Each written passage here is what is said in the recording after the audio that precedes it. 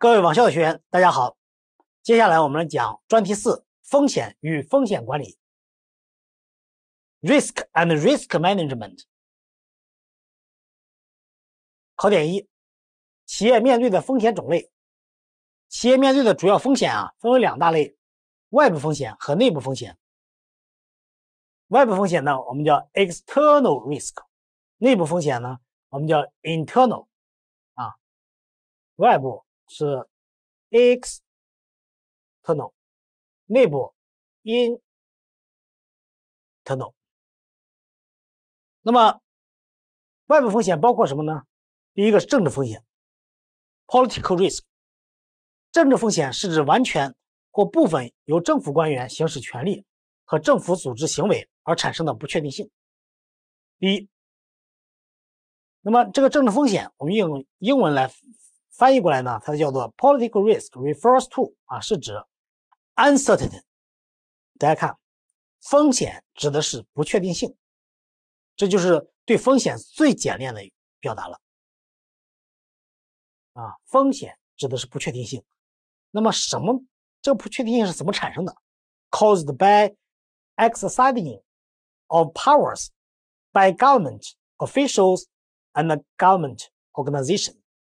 behavior，就是说这个它呢是我们的呃，由于我们的政府官员行使权力的时候啊，就是说 government official 啊，政府官员和政府组织他的行使权力的行为 behavior 是这种情况下产生的不确定性。好，我们再看风险管理下面这个第一个考点。企业面对的风险的种类，第一个限制投资领域，啊，这是风险。呃，我们下面说的这些是风险的来源，一共这里看有七个来源。第一个是限制投资领域，restriction of investment。第二是设置贸易壁垒，setting up trade barriers。barrier 是那个篱笆、壁垒。第三。外汇管制的规定，the regulations of foreign exchange control。有时候我们也也会把它简写成 FX 啊，F 就是指的这个 foreign，X 呢是 exchange 这个 X。第四，进口配额和关税，进口配额，import 啊，实际上这个 import 呢，它是从 in 发展过来的进口 import quotas and customers duties。第五，组织结构及要求最低持股比例 organization and minimum shareholder ratio。持最低持股比例，最低 minimum shareholding ratio。限制向东道国的银行借款 limit in local bank loans。 第七，没收资产，confiscation of assets 啊，confiscation 没收资产。好，我们再看这个企业面对风险的种类。第二点，法律风险与合规风险。所谓法律风险呢，我们叫 legal risk；合规风险是 compliance risk。法律风险是指企业在经营过程中因自身经营行为的不规范或者外部法律环境发生重大变化而造成的不利法律后果的可能性。Legal risk refers to the possibility。看，这里我们对风险的另外一种解释是 risk possibility，风险是可能性，其实跟前面的 uncertainty 一样道理啊，是不确定的。什么的不可能性呢？Adverse legal consequence，啊，法律后果，自身经营行为这个法律后果，undertaken by the enterprise，企业要 undertaken，undertaken 承担的意思，你要承担的法律后果，它的一个可能性。那么什么原因造成的？Because its business operation，因为它的企业经营 not standard，对吧？不标不规范，就比如说崔永元曝光的这个这个这个范冰冰的那合同是吧？阴阳合同，那么它就是 not standard。Or the external legal environment has major changes。那么这是要他要承担的一个法律的后果。再一个就是我们看外部法律环境发生重大变化啊，major changes major changes，外部法律环境发生重大变化。好，我们再看合规风险。合规风险呢，是指因违反法律或监管要求而受到的制裁、遭受金融损失以及未能遵守所有适用法律法规、行为准则或相关标准而给企业信誉带来损失的可能性。Compliance 啊，compliance 合规，合规风险指的仍然是一个可能性 possibility。那么这里的 possibility 跟上面的那个 possibility 的区别在哪里呢？The enterprise is punished，被惩罚，because of violations of laws or regulatory requirement, suffered from financial loss and loss of reputation。那么这里说的是这个我们的财务损失，或者是名誉上的损失，对吧？名或者利，名利。这就是利，那就是名名利上的损失。Because of failing to comply with all the applicable laws，就是说你呢未能够未能 failing to 未能去遵守遵循你适用的法律法规规则以及相关的标准，把这个这个要会写啊，laws 法律法规。regulation 行为准则 ruler and 相关标准 relevant standard 这个是它的它的权威性一层比一层低。好，我们再看社会文化风险 social culture risk 社会文化风险是指文化这一不确定性因素给企业经营活动带来的影响。好，我们再来看这里的风险 risk refers to the impact of uncertainty on the business activities of enterprise。社会文化风险，这个风险指的是是一个影响，risk 是不确定性的影响。好，我们再来看企业面对的风险种类。第三，社会文化风险啊，它面临的第一个风险来源是跨国经营活动引发的文化风险，跨国经营活动引发的文化风险。culture risk triggered by the international business activity 引发的 triggered 啊，加了 ed，表示它的这个这是一个这是一个被动了啊，这个风险是被引发出来的。第二，企业并购活动引发的文化风险，culture risk 还是一个 triggered by merger and acquisition，哎，它是 by 被谁呢？被并购引发的。大家注意啊，这不是个句子，这是一个非谓语动词引导的一个词组。第三，组织内部因素引起的引发的文化风险，culture risk triggered by internal factors of the organization。第四，技术风险，technical risk，第一广义技术风险是指某一新技术给某一行业或某些企业带来增长的机会的同时，可能对另一行业或另一些企业形成巨大的威胁。Technical risk，广义啊，general technical risk，广义技术风险，refers to a new technology，指的一个新技术带给。带来的一个增长的机会，啊，增长机会是给谁带来一个增长机会呢？给某一个行业，certain industry，industry 行业，or certain enterprise 给某个行业或某个企业。同时呀，它可能对另外一些行业或另外一些企业形成巨大的威胁。那么，巨大的威胁，我们这里怎么说？pose 施加什么什么压力，对吧？threat。huge threat，一个巨大的 threat 压力。是对的 to the other industry or other enterprise。这个很明显，对吧？我们说那个柯达胶卷，柯达胶卷，它就是被被谁干掉了啊？我们可以说被手机干掉了，是吧？这就是一个，这不仅仅是一个威胁了，已经形成一个现实。我们说毁灭你不是因为你，毁灭你不是因为你，是因为技术技术进步，你再努力，在技术进步面前你也无能为力。好，第四，技术风险，它的第二点，狭义的技术风险就是技术在创新过程中，由于技术本身复杂性和其他相关因素变化产生的不确定性，而导致技术创新遭遇失败的可能性。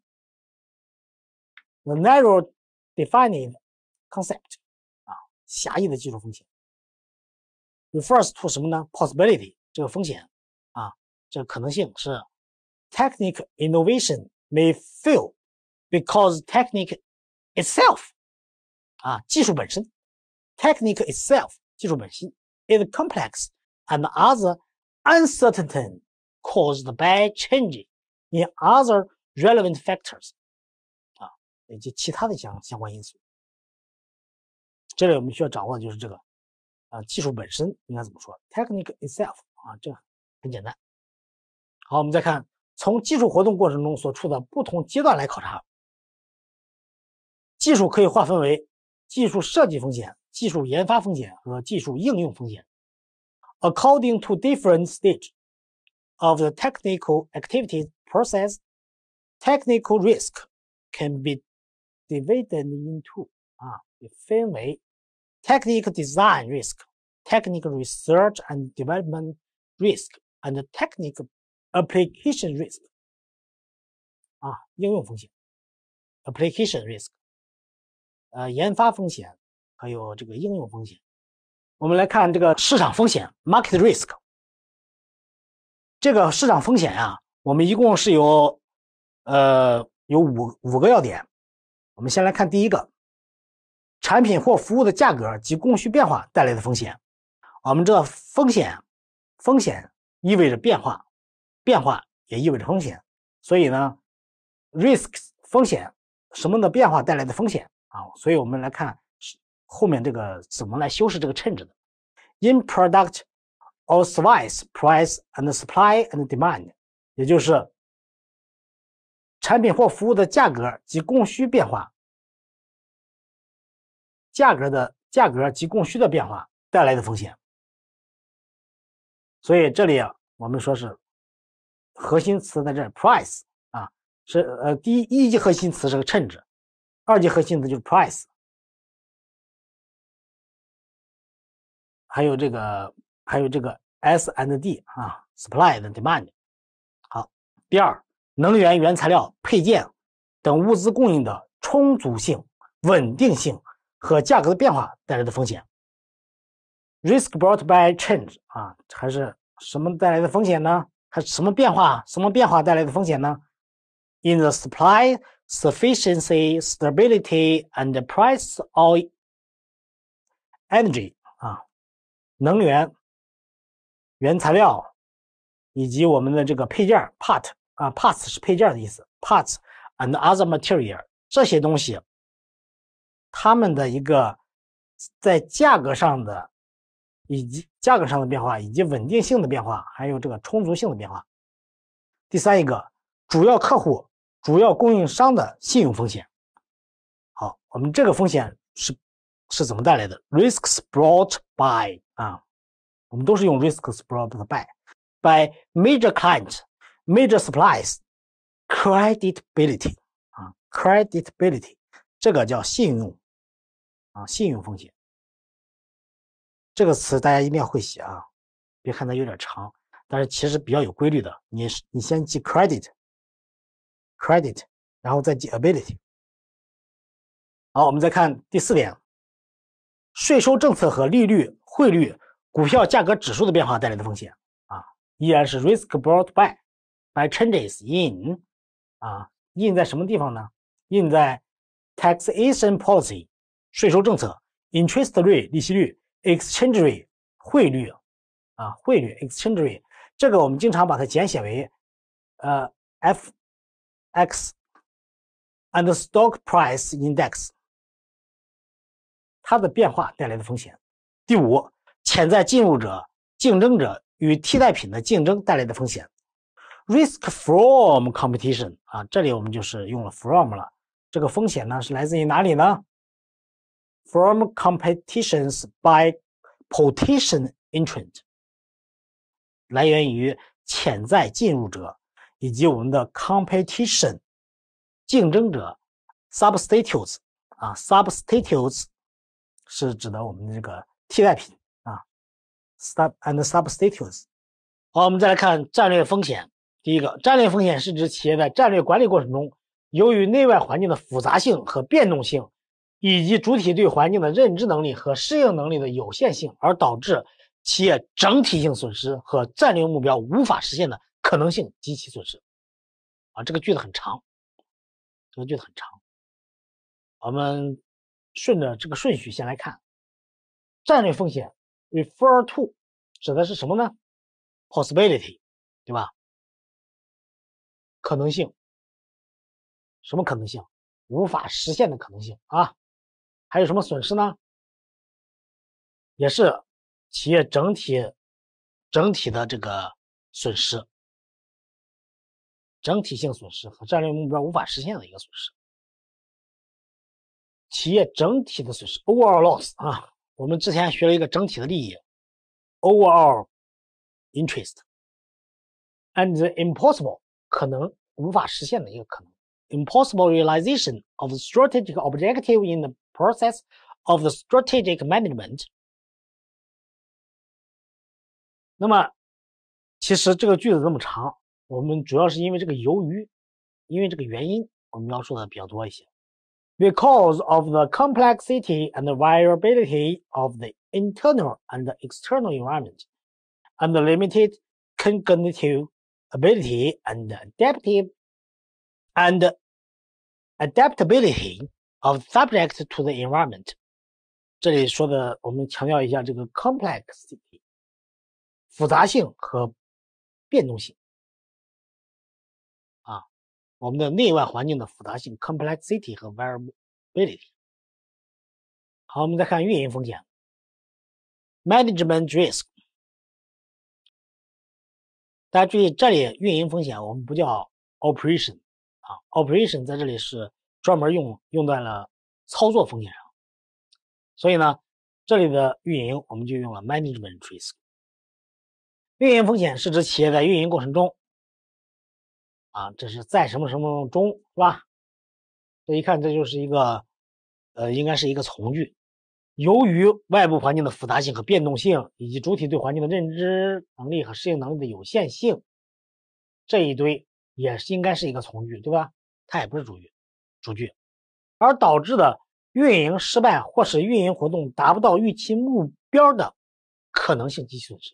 好，这也也就是说，这句话 如果分析主句的话，就是风险是损失。是目标达不成啊，达不到预期目标的，达不到预期目标的这种可能性及其损失。这里面包含了这么两个从句，还是比较比较麻烦的。好，我们先来看，如果写的话，我们还是先把我们分析来的、分析出来的这个主句的成分摆出来。Management risk refers to the possibility and related loss from operation failure 啊，operation failure 运营失败，or the operation not reaching the expected goals，对吧？跟什么有关呢？是跟我们的这个预预计的目标你达不成啊？那达不成目标发生损失，它的原因又是什么？Because of complexity and variability 是吧？复杂性和波动性，那么是谁有复杂和波动？External environment and the limitation of the enterprise cognitive and adaptive ability to environment。所以这个句子不要看，大家不要觉得它很，它很难写啊，猛一看是很难写，但是我们用运用结构分析法，一层层的剥，一层层的套，啊，是可以写出来这个句子。然后我们再看运营风险，至少要考虑哪些方面？第一个，企业产品结构、新产品研发方面可能引发的风险。Risks related to product structure, new product research and development. 企业产品结构，产品结构 structure，新产品的研发，这两个方面，这两个方面造成的运营风险。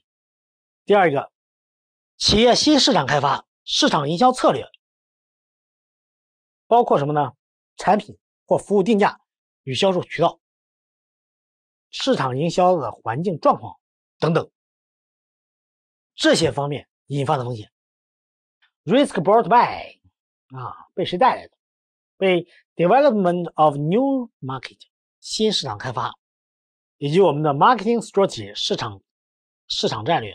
这个市场战略包括什么呢？Product as a service，价格、定价与销售渠道，Pricing and distribution channel，distribution channel，Marketing environment，市场环境。好，我们继续看内部风险需要考虑的哪些方面。第三一个，企业组织效能、管理现状、企业文化、高中层管理人员和重要业务交流中。专业人员的知识结构、专业经验等方面，这些可能引发的风险。Risk brought by，啊，就是你的风险呀，是会被谁引起来呢？Organizational effectiveness and efficiency, current management situation, enterprise culture, knowledge structure. 啊就是说，你的知识结构，你的企业的这个结构，企业的这个文化，还有呢，你的 professional expert experience，你这个专业的专业人员的这个知识结构、专业经验啊，这是专业经验，是谁呢？是高级管理人员 （senior and middle management） 啊，中高级管理人员，以及你们专，还有你还有一个 prefer personal staffs 专业人员的这个工作。在这个 key business process，这个叫关键的啊，或者说重要的重要的业务流程当中啊。第四，期货等衍生产品这种业务，它发生失误带来的风险，risk brought by fault occurred in future 啊，在未来，你这种什么呢？这种衍生品。啊，这种衍生品，derivative product business 啊，由于它这种衍生品带来的风险。好，我们再看第五点，质量安全、环保、信息安全等管理中发生的失误导致的风险。Risk brought by faults occurred in the management of quality, safety, environment protection, and information safety. 质量。安全环保，quality, safety, environmental protection and information safety。第六，因企业内外部人员的道德风险或者业务控制系统失灵而导致的风险。好，我们还写到这了，我们就如果说大家可以，大家到时候可以把拿在我的讲义上拿张纸盖住啊，盖住自己来写。Risk brought by，对吧？前面都一样的。那 by 谁呢？道德风险哦，道德风险，道德风险我们我们知道是 moral risk。谁的道德风险呀？肯定是人的吧，对吧？那么就是 internal and external personnel，或者呢，由于你的业务控制系统失灵，哎，失灵我们往往是用 fail，非典。我们失灵，我们往往是用非典，信息系统失灵。好，我们再看运营风险，还要考虑的第七点，给企业造成损失的自然灾害等风险。risk of loss resulting from natural disaster，给企业带来的风险啊，自然资源带来的风险。第八，企业现有业务流程和信息系统操作运行情况的监管、运行评价及持续改进啊，这些方面引发的风险。先看第一个，那么这个损失的风险是怎么来的呢？Resulting from natural disaster。那么第八个，这个风险是跟谁有关的呢？Related to supervision, evaluation, and continuous improvement ability of the current business process and information system operation。啊，等等这些。还是比较好理解。好，我们再看第二个考点：风险管理的概念、风险偏好与风险承受度。确定企业整体风险偏好，要考虑以下这些因素 ：When determine the overall risk appetite of the enterprise, the following factors should be taken into account. 这是一个完整的词组，taking into account 需要考虑啊，appetite 风险偏好。第一个风险个体对每一个风险啊都可以确定风险偏好和风险承受度，individual risk 风险个体，individual risk Is can determine risk appetite and risk tolerance on each individual risk。我们来看第二点啊，相互关系。它的相互关系既要考虑同一个风险在各个业务单位或子公司之间的分配，又要考虑不同风险之间的关系。interrelation 啊，这我们叫 inter inter，这是个前缀，是交互的 relation 的关系，交互的关系，相互的关系。那么 it's necessary 是非常必要的，necessary to 考虑什么呢？Not only the distribution Of the same risk among each business unit，就是说，呃，我们既要考虑在各个业务单位或子公司之间分类分类，分类是指的谁呢？考虑的谁呢？考虑的是同一个风险，就是虽然你的业务单位啊，单位或者说你的这个子公司不同，但是考虑的风险是要一样的。But also the relationship of different risk。好，我们再看第三个整体形状。一个企业的整体风险偏好和风险承受度是基于针对每一个风险的风险偏好和风险承受度的。Over risk overall 整体，overall risk appetite and risk tolerance 整体的风险偏好和风险承受度。An enterprise over risk appetite And risk tolerance is based on each risk，基于每一个风险啊，每一个风险的什么呢？风险偏好和风险承受度。我们再看第四点，行业因素，同一风险在不同行业风险偏好不同。The risk appetite for the same risk is different in different industry。啊，这里有好几个 different，一个 different。又一个 different，是吧？在不同的行业，风险是不同的。我们再来看这一句话，这呃，the different，这个 different 是它的主语是谁？是 risk appetite 啊，是风险偏好不同，不同的行业风险偏好不同。好，我们再看第三个考点：风险管理策略的工具。对，就是我们对这个风险啊，要采取哪些管理的方法啊？你也可以理解工具。第一个，risk acceptance，风险承担；第二个，风险规避，risk avoidance；第三个，risk transfer；第四个，risk transform，风险转换。下一个，风险对冲，risk hedging 啊。hedging，然后是风险补偿 risk compensation，然后最后一个风险控制 risk control。那么风险承担也叫做风险保留啊，风险自留，它是指企业所面临的风险采取接受的态度，从而承担风险带来的后果。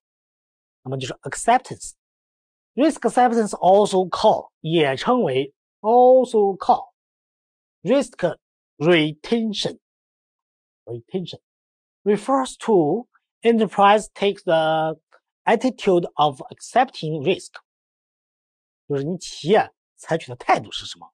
接受风险，faced and bear the consequence of risk。 第二，风险规避是指企业回避、停止或退出蕴含某一风险的商业活动或商业环境，避免成为风险的所有人。Risk avoidance refers to enterprise avoid or exist 退出风险啊，或者是 business environment。那么这个 business environment 后面为什么要要跟着一个修饰成分呢？That's content certain risk，蕴含着某一风险的商业活动或者商业环境。也就说，这个 that 后面它引它所修饰的是这一堆 to 什么呢？To avoid becoming the risk 功能避免成为风险词，就是说避免承担这些风险。第三，风险转移是指企业通过合同将风险转移到第三方，企业对转移后的风险不再拥有所有所有权。Risk transfer refers to enterprise transfer the risk to the third party by contract，啊，通过合同跟第三方的合同，after which the enterprise not own risk any longer，这就是风险转移。好，我们再看风险转换，它是指企业通过战略调整、战略调整等手段，将企业面临的风险转换成另一个风险。风险转换的手段包括战略调整和衍生品等。Risk transfer refers to enterprise transfer the risk faced into another risk。哎，就是说，你通过一系列的手段啊，将企业面临的这个风险转换成另一个风险。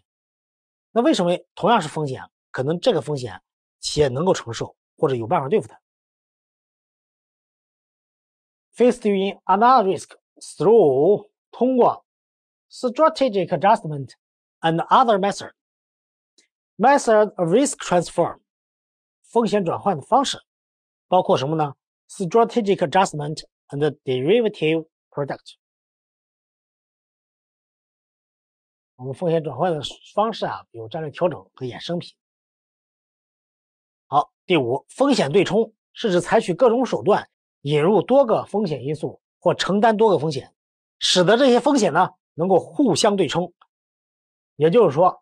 使这些风险的影响互相抵消。那么，这个 hedging，大家如果学过会计英语，那这个是非常常见的。但是如果没学过，需要格外的记一下啊。Risk hedging refers to enterprise adopt 啊，采取了、采纳了 various methods 各种方法，用这种方法 to introduce multiple risk factor。or bear multiple risk，目的是什么呢？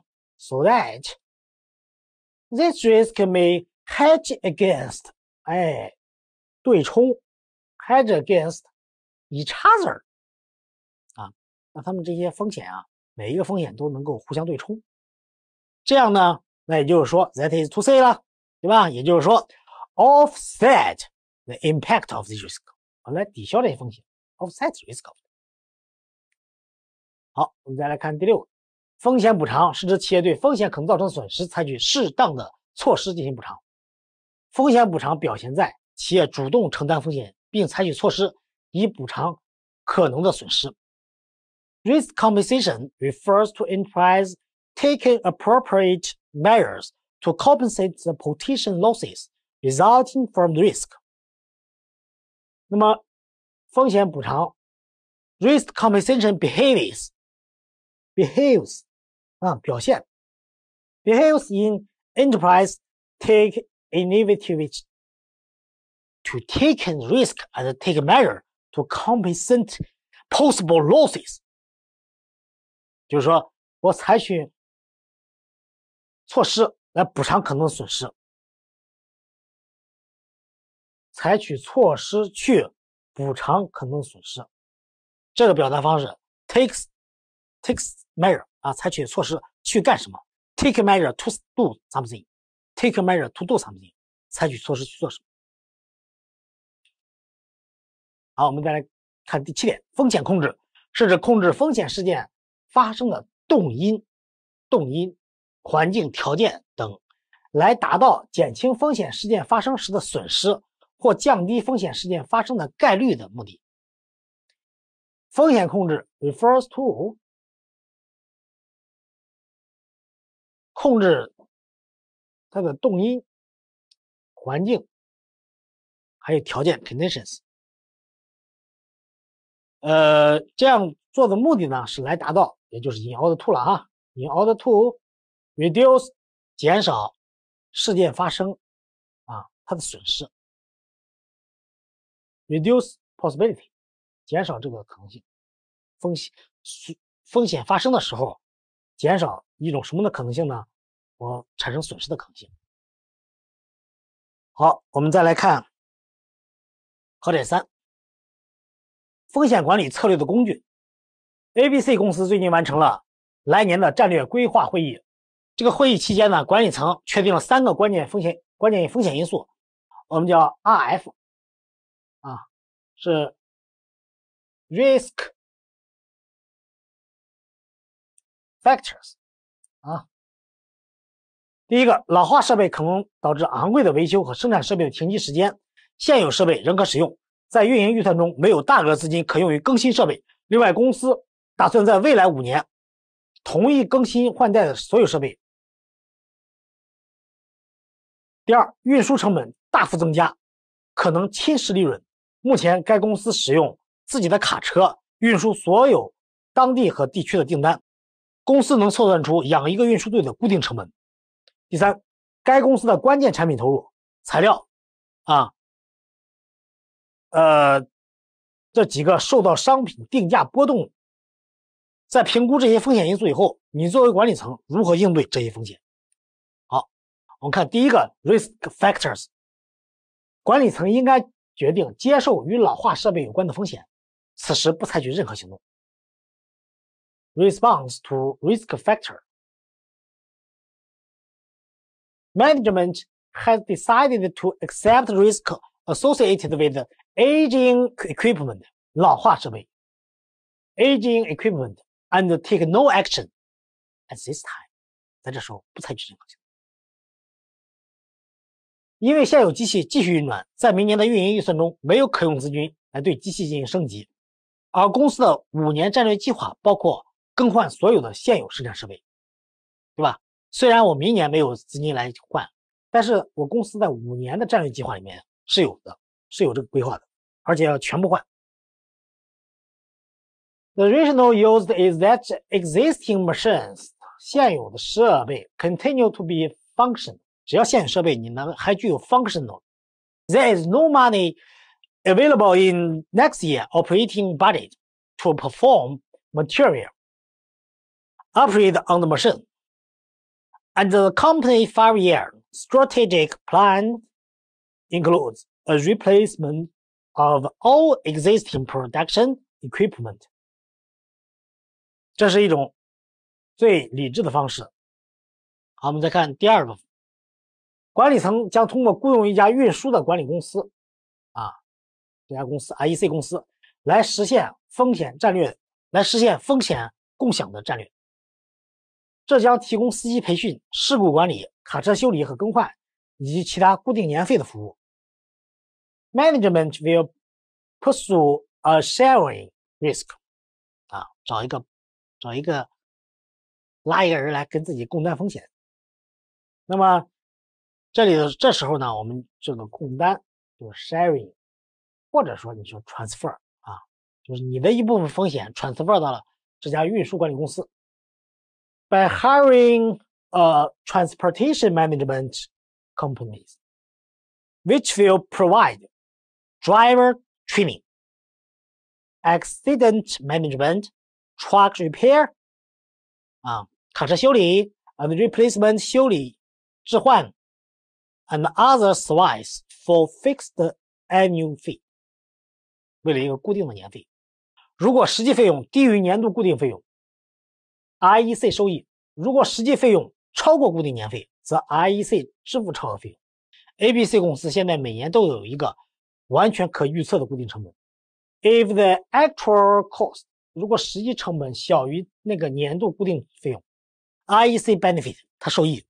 If the actual cost exceed 超过固定年费，IEC 付 excess 啊，付超额部分，excess 超额费用嘛啊，excess。ABC 公司 now have a completely predictable fixed cost 啊，完全可以预测的啊，predictable 完全可预测的固定成本。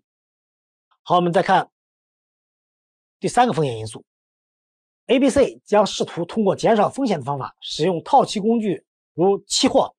和远期合约进一步使用减轻这种商品价格风险，就是期货和期货和远期合约的进一步使用啊，来减轻这些商品价格风险。ABC will attempting to 试图 attempt to 试图 mitigate this commodity price risk by using a risk reduction approach. and making further use or heading or heading vehicles such as future and forward contract。呃不，好，我们再来看考点四，风险度量方法。那么对于风险来说，我们哪有哪些度量的方式呢？第一个，来看它的 这个风险的最大可能损失，maximum most possible loss。第二个，概率值 probability 风险事件发生的概率或造成损失的概率，probability of occurrence of a risk event or the probability of loss 啊，事件发生的概率 probability。第三个期望值 expectation 统计期望值、效用期望值啊等等，还有波动性啊、方差或者均方差等。statistical expectation, utility expectation, volatility variance, mean square deviation。第四，再显值 value at risk。好，这个呢，大家了解一下就可以。 因为我们的其实这些都是需要计算的，但是在我们的战略当中很少考察到计算。最大可能损失是指风是指风险事件发生后可能造成的最大损失，且一般在无法判断发生概率或无需判断概率时，使用最大可能损失作为风险的衡量。It refers to maximum losses may incur. Generally, enterprise may use this method when it is able or not necessary to determine probability of the risk occurs。好，这个是个重点，套期保值。虽然我们不考这种计算题，但是定性呢还是啊还是经常会考察的。而套期保值呢，作为风险理财措施的一个重要措施啊，这是会经常考到的。第一，期货套期保值 （future hedging）。利用期货套期保值有两种方式，There are two ways。两种方式：to use future hedge，空头期货套期保值。空头，空头我们用 short 啊。那么对应的多头应该用谁呀？short 的反义词，大家想，short 是短，对吧？那么长呢？long。所以待会儿我们讲到多头的时候，就是 long future。呃，short futures heading if a company plans to sell assets。at some time，在未来某一时点，at some time it can hold a short position，啊，空头的头寸，short position in the future contract of the assets to offset risk，去抵消风险。 如果到期日资产价格下降，现货出售资产亏了，但期货的空头获利。那么这里面有一个描述，表达到期日的啊，到期日资产价格下降，就是价格下降，是吧？核心是价格，price 在到期日，on on the due date decline selling the assets 销售资产在某一时点会导致一个损失 result loss，but there will begins on the future market。好，如果到期日资产价格上升，现货出售获利，相对合约签订日期啊，就说这个获利呢是相对于合约签订日期的，但期货的空头亏了。If the price on the due date increased, selling the assets on the spot market will result gain compared with contract 啊，这是和谁比较？compared with contract signing date 啊，合同签订日 contract signing date。But there will be losses on the future market。但期货的空头亏了。我们再来看期货套期保值 （future hedging）。利用期货套期保值有两种方式啊。刚才我们讲了空头。那么第二种就叫多头套期保值，多头在这里是 long long hedge。如果要在未来某一个时点买入某种资产，则可采用持有该资产期货合约的多头来对冲风险。If a company plan 计划去买一个资产的话，在未来某一个时点，is can holder 持有一个 long position in the future contract of the assets to offset risk。对冲风险啊，明白？offset 这个词不不只是抵消，在这里就是对冲的意思啊。offset 对冲抵消。好，我们再看期权套期保值 option 啊，option。期权呢实际上是一个选择权，所以我们叫 option。期权在规定的某一个时间内，可以以规定的价格购买或者出卖某种规定的资产的权利。期权可以分为买方期权和卖方期权。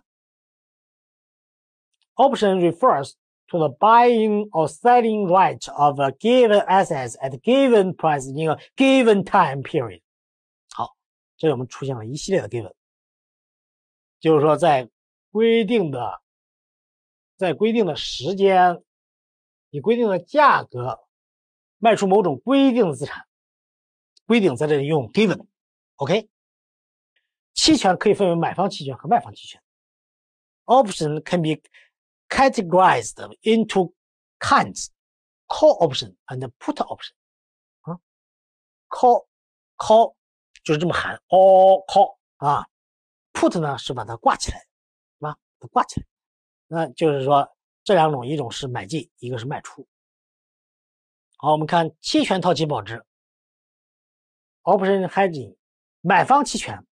是指赋予期权持有人在期权的有效期内按照履约价买进，但不负有必须买进的义务，好吧？买方期权不是必须得买进这种规定的资产价格的权利。Call option refers to the right 啊，所以说我们强调的 option 是一个权利，是一个买或者不买的权利，given to the option holder to buy。是一个 right，但是不是一个 liability。